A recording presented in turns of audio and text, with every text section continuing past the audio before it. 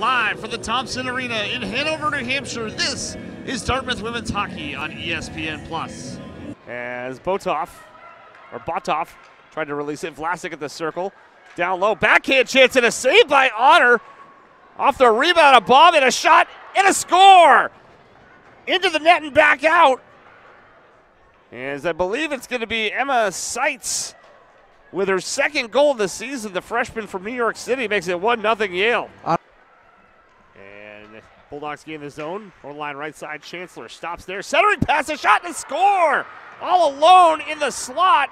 It was Caitlin Rippon, her first of the season and of her collegiate career. It's 2 0 Bulldogs. What a great feed from the corner. Also, a great finish from Rippon as well.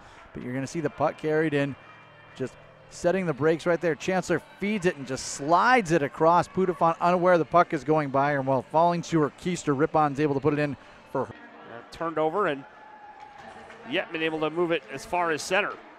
Taken back by the big green there.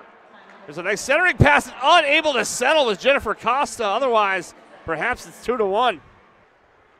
Up ahead for Chloe Pudafont. Over the line, left side.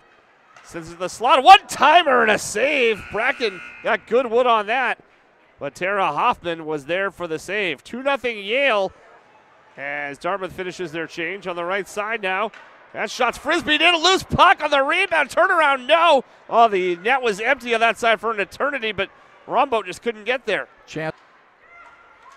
McClanahan leaves it for Hill. Active stick work for the Yale defense. Bracken, top of the slot, sends it down low, redirected a save. As unable to get good wood on it was Essery. Thought the redirect might have enough to get home, but Hoffman was there.